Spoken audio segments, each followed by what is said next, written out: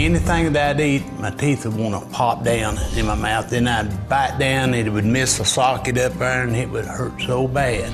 We used to joke with each other about uh, swapping teeth because we never could keep them in.